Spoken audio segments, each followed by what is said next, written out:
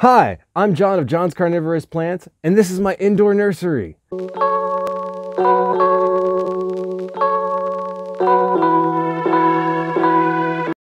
Today, I'm going to teach you how to grow Drosera lanata, a Petiolaris sundew native to Northern Australia. In this grow guide, you'll learn everything you need to know on how to grow one in your own home. Please like and subscribe if you enjoy this kind of content. Also check out my monthly tour videos. There's a link in the description to all my social media and to my own nursery where you can buy one of these off of me directly if you live in the United States. Thank you so much and I hope you enjoyed the content.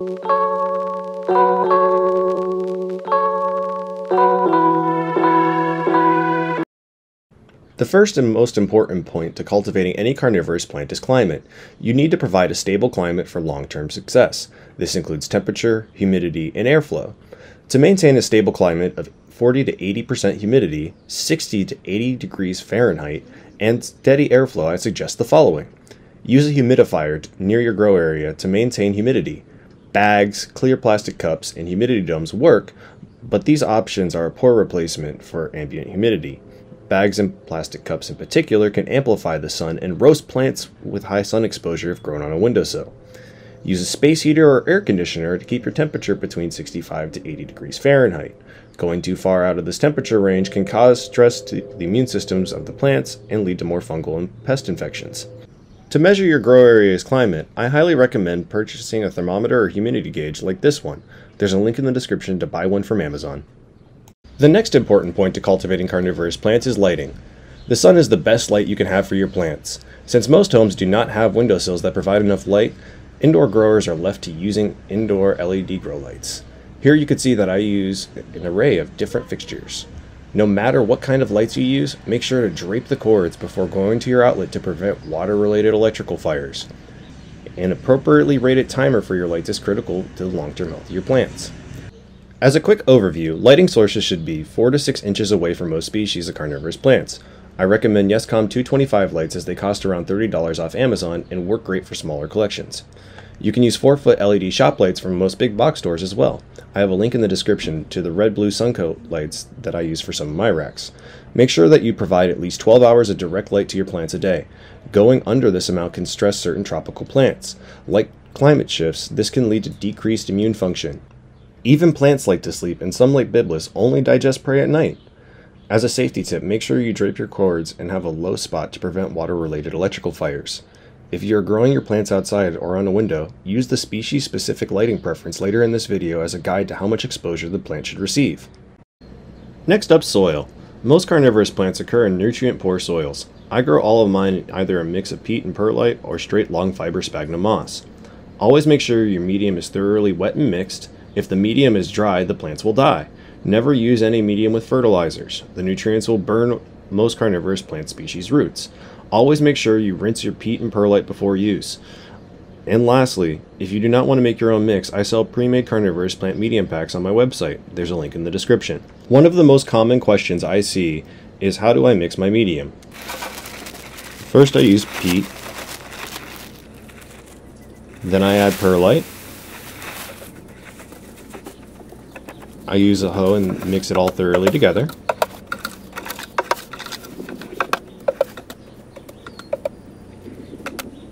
I then take my pots, fill it thoroughly to the top, and give it a slight pat down. Always make sure to thoroughly top water your pots. And as you can see here in this last scene, there's the difference between wet and dry peat. Next up, water. First thing you need is a TDS meter like this. It'll measure the total dissolved solids in your water. You need water with under 100 parts per million of total dissolved solids for carnivorous plants. Here you can see my tap water comes in at around 100 parts per million. Next my reverse osmosis filtered water clocks in at 12 parts per million. To water I use the tray method, watering from the bottom of the pot. I fill these trays 1 to 2 inches up the pot and refill the trays once the tray is dry, but before the medium dries.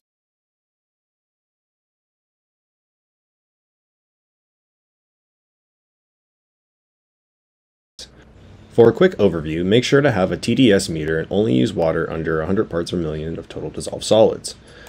Tap water is usually unusable, so make sure to test it before use. Distilled water from a grocery store, pharmacy, or other store will work.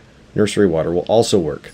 Water from an air conditioner or dehumidifier can be used, but is not recommended for the long term. Use the tray method of watering. Make sure the water is at least one inch from the bottom of the pot.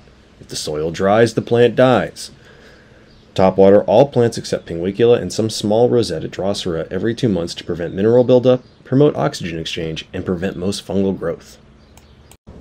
Lastly, to fertilize or feed carnivorous plants, I use MaxSea 16-16-16 fertilizer and apply it as a foliar feed. You can mix a small amount with water and use an eyedropper or pipette, but I prefer to use a mixing bottle. I'll take small amounts on a plant tag and shake vigorously to mix.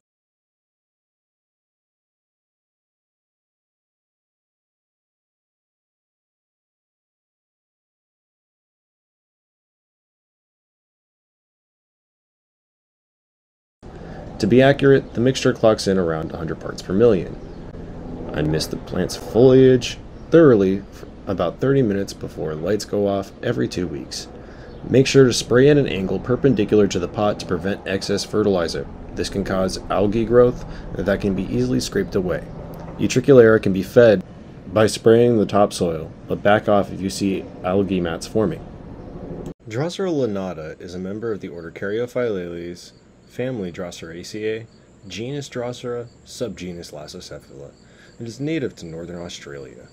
I find the species to be a particularly easy Petiolare sundew to grow, and it's quite vigorous. Likes humidity around 70%, temperatures uh, around 75 to 85 degrees, and 14 hours of on lighting time.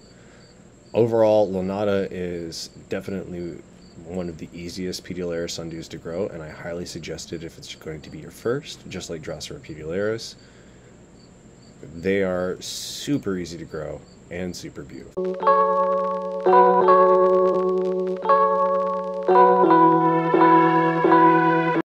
Cloning Petiolare sundews is quite easy. Pick up your plant, and go for the base of the rosette with still living leaves, pull straight down just like you would with the Venus flytrap. Take the leaves, make sure there's a little bit of white on the end, and put them into a cup with water and seal. Within a month or two, plantlets will form, which you can then transfer to media, and after about another month, they'll look like this and they are ready for transplant into their final pots. Thank you for watching this far. I have links in the description to other great reference videos done by other nursery owners for the International Carnivorous Plant Society. These include a pesticide discussion from Damon of California Carnivores and a lighting presentation from Drew of Carnivero. There's also a link to Barry Rice's Carnivorous Plant FAQ, which has been invaluable to my own learning. Once again, if you want to try growing carnivorous plants or expand your collection, check out my website. Please like this video and subscribe to my channel for more carnivorous plant content. I wish you happy growing and great success. Thanks again.